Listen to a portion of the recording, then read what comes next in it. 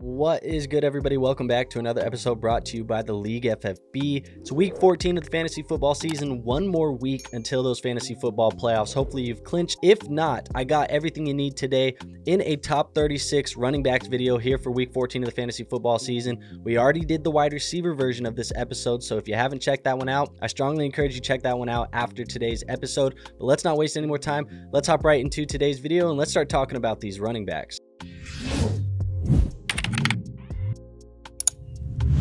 All right, so as you can see, I got my tier maker pulled up on the screen. We got seven tiers to get through all 36 running backs here in today's video. We're going to be kicking it off in my top tier, the elite running back ones here in week 14. I only got two guys in this tier. It's going to be Saquon, Barkley as the number one and De'Von Achane as the number two. Now, I just want to talk about Saquon Barkley's matchup. This is absolutely perfect for Saquon Barkley. 8.8 fantasy points above the expectation is what Carolina is averaging at the moment. They're giving up 29 fantasy points per game to that running back position as well. That is dead last, 32nd in the NFL. If Saquon Barkley is going to come anywhere close to doing what he did the other weekend when he went for 50 fantasy football points almost, I think it's going to be closer to this weekend. I'm not saying he's going to do that, but you get what I'm saying. The matchup is going to be mwah, chef's kiss for Saquon Barkley. Absolutely love this one this week. Now, going on to my tier two, I do have five guys in this tier. We're going to go from running back three to seven. I got Alvin Kamara coming in at three, Chase Brown at four, five is Jahmyr Gibbs, six is Kyren Williams, and seven is Bijan Robinson. That is the high end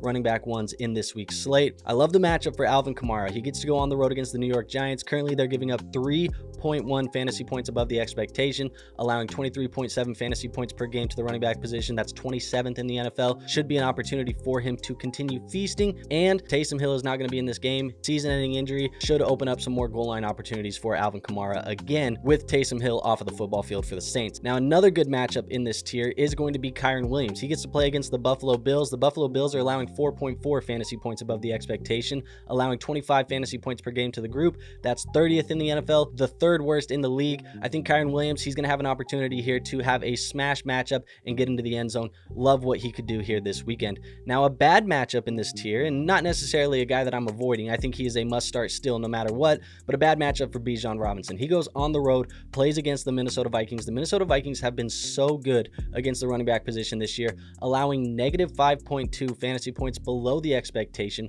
really not allowing any extra points, 15.1 per game to the group. That's third best in the NFL. This should be a tough matchup for Bijan Robinson. Still a must start player for me. Not really going to overthink it, but it could result in a few less points than we really want out of Bijan Robinson here this week. Now let's go into my tier three. Tier three is those low end RB1s. I got five guys in this tier as well. We're going to kick it off at RB8. It's going to be Bucky Irving, followed by Josh Jacobs, James Cook, David Montgomery, and then Kenneth Walker. That rounds out that entire tier for me. Two guys I want to talk about specifically. Bucky Irving is one of them. He is questionable with a hip coming into the weekend. I don't think it's going to limit him. I don't think he's going to miss this game. Just keep an eye on the injury reports. There's obviously a chance that he could re-aggravate it or whatever it may be. Keep an eye on that. I don't expect him to miss at the moment. He should be a top 10 play if he does play in this game because the matchup against Las Vegas is pretty decent for Bucky Irving. Now, the other guy I want to talk about is Josh Jacobs. Now, Josh Jacobs, he's coming in at number nine, but he plays on Thursday night football. This is a bad matchup on paper for Josh Jacobs. The Detroit Lions, they've been very good against the running back position as well, allowing 5.5 fantasy points below the expectation, meditation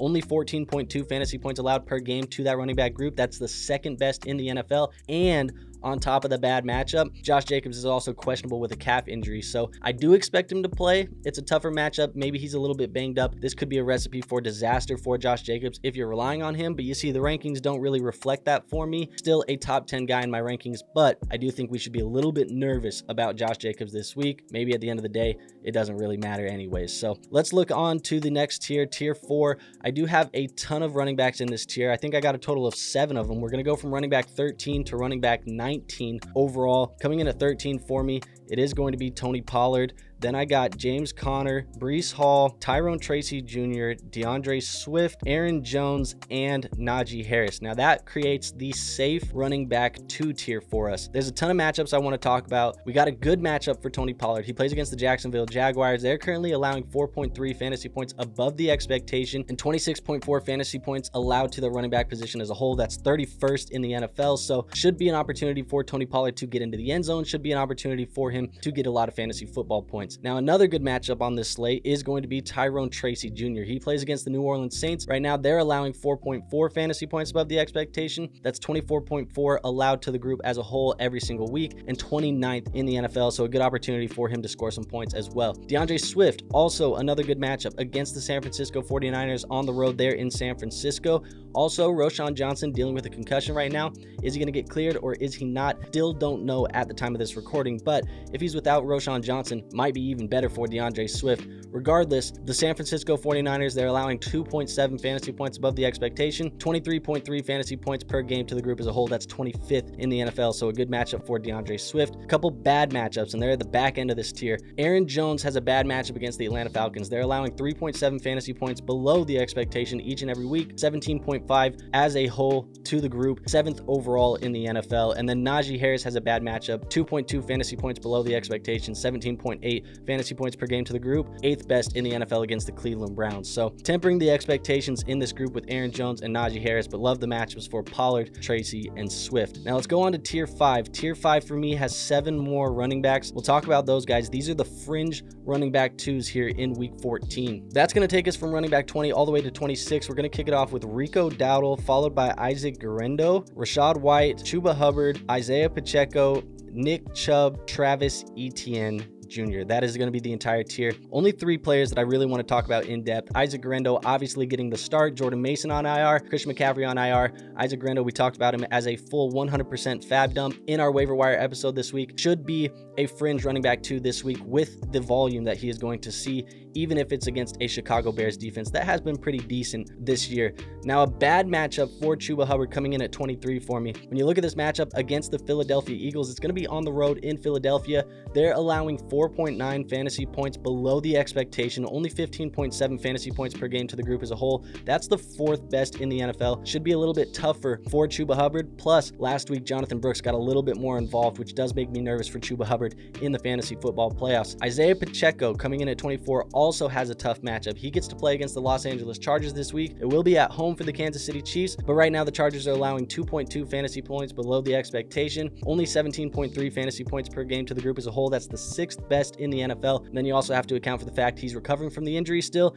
and still splitting a couple carries with Kareem Hunt. Probably caps his ceiling unless he gets into the end zone here this week. Other than that, there's really nobody I want to talk about in depth in this tier, so we'll move on to the low upside RB3s. Only have three guys in this tier. So coming in at 27 for me, it is going to be Jaylen Warren, 28 Kareem Hunt, and 29 Gus Edwards. That is the entire tier for me as the low upside RB3s. Jaylen Warren, he gets that tough matchup we talked about with Najee against Cleveland. Only 2.2 fantasy points below the expectation, 17 points overall to the group. Should be a little bit tougher for Jaylen Warren as well, but he has some PPR upside in this matchup. Now, by far the worst matchup on the slate, it does go to Gus Edwards. Gus Edwards plays on the road against the Kansas City Chiefs. They're allowing 7.6 fantasy points below the expectation only 13 fantasy points per game to the running back group as a whole. That is number one overall in the NFL by a significant margin. Gus Edwards is going to be splitting touches, I think, with Kimani Vidal. It is a very, very, very low ceiling, low upside type of play for Gus Edwards. You're just hoping for a little bit of volume and you're hoping he falls into the end zone. But if he doesn't get into the end zone, you're going to be very disappointed with Gus Edwards this week just because of how good that Kansas City defense is. Now let's go on to tier seven. Tier seven has all of the rest of the running backs. We're going to go from running back 30 all the way to 36. These are going to be flex plays only.